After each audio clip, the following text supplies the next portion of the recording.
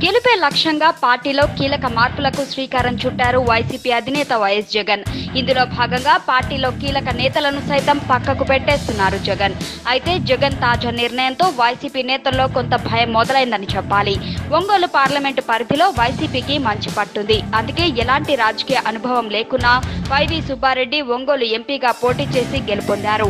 ఎర్రగొండపాలెం మార్కాపురం గిద్దలూరు ప్రాంతాలు వైసీపీకి కంచుకోటలా మారాయి.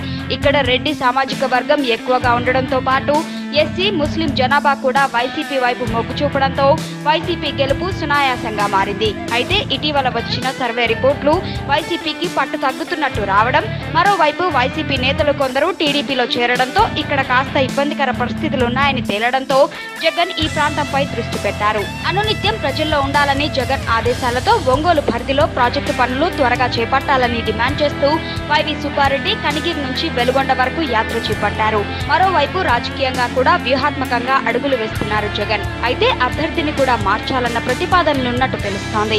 సుబ్బారెడ్డి కాదంటే అంతకంటే బలమైన అభ్యర్థి ఎవరన్న దానిపై పార్టీలో చర్చ జరుగుతోంది. అయితే వైఎస్ షర్మిల సరైన అస్త్రం అవుతారని క్యాడర్ చెబుతోంది బాబాయిని కాకుండా ఈసారి అమ్మాయిని బరిలో దింపితే పార్లమెంట్తో పాటు అసెంబ్లీ కూడా స్వీప్ చేయవచ్చని అధినేతకు కొందరు నాయకులు సూచించినట్టు తెలుస్తోంది. షర్మిల అయితే బాలినేని వర్గం కూడా పూర్తి స్థాయిలో సహకరిస్తుంది. వైసీపీకి పట్టున్న అసెంబ్లీ నియోజకవర్గాలు ఎర్రగొండపాలెం మార్కాపురం గిద్దలూరుతో పాటు కనిగిరి ఒంగోలు కొండెపి దర్శి నియోజకవర్గాల్లో కూడా వైసీపీకి విజయకేతనం ఎగరవేయొచ్చన్న వ్యూహంలో వైసీపీ ఉన్నట్టు తెలుస్తోంది. మరి జగన్ మనసులో ఏముందో మరికొద్ది రోజుల్లో ఆగితే గానీ స్పష్టత రాదు.